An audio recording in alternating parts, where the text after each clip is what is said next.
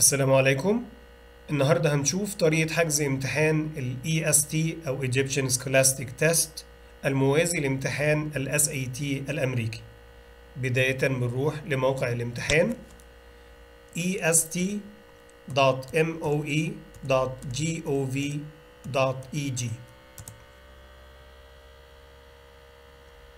ممكن ادوس registration من هنا أو أنزل على طول هلاقي صفحة الحجز موجودة جاهزة.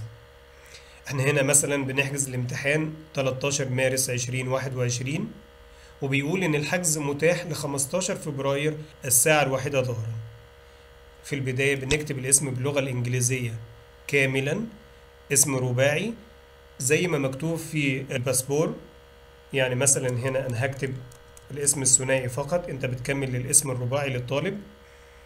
الاسم بالكامل باللغة العربية. برضو رباعي زي ما مكتوب في بطاقة الرقم القومي. أنا هنا برضو هكتفي بالاسم الثنائي. بعد كده البلد بنختار مصر. بعد كده ال gender male أو female بعد كده ال ID type عندي اختيارين. ممكن أختار national ID اللي هي بطاقة الرقم القومي. في هذه الحالة بكتب الرقم. أنا هنا بكتب رقم عشوائي. أو ممكن أختار الباسبورت وفي هذه الحالة هكتب رقم الباسبور. حسب ما انت مختار لو اخترت البطاقة اعمل browse صورة البطاقة بتاعتك. هنا أنا حاطط صورة عشوائية.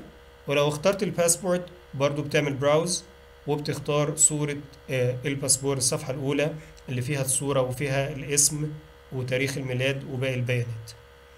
بعد كده date of birth تاريخ ميلاد الطالب هنا لو دوست فوق على السنة هنا مكتوب عشرين واحد وعشرين هدوس عليها.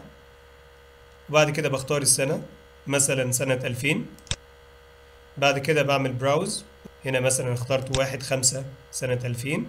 أدوس بالماوس بره. كده احتفظ بتاريخ الميلاد. بعد كده أه بكتب إيميل الطالب.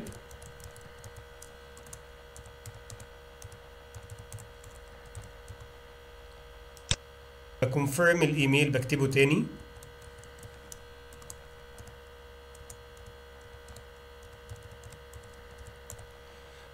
نلاحظ هنا إن بعض البيانات جنبها نجمة. Asterisk ده دليل على إنها معلومة إلزامية لن يكتمل التسجيل من غيرها زي date of birth زي الإيميل.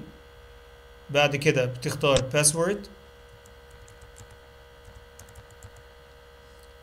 رقم الموبايل الخاص بالطالب. أنا بكتب رقم عشوائي. هنا landline مش جنبها نجمة. ده دليل على إنها مش إلزامية فأنا ممكن أتخطاها. بعد كده مطلوب مني personal image للطالب. بختار الصورة. وبعمل لها crop عشان أظبطها بالظبط وأعمل لها save. كده your school اسم المدرسة اللي الطالب ينتمي ليها.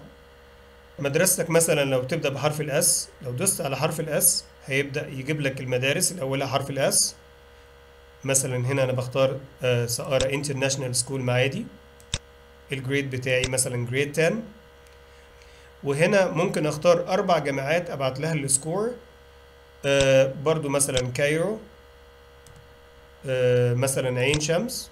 مثلا دول جامعتين حكومة ممكن أختار جامعات خاصة. زي ال AUC بعد كده العنوان بتاعي زي ما موجود في البطاقة أو الباسبور.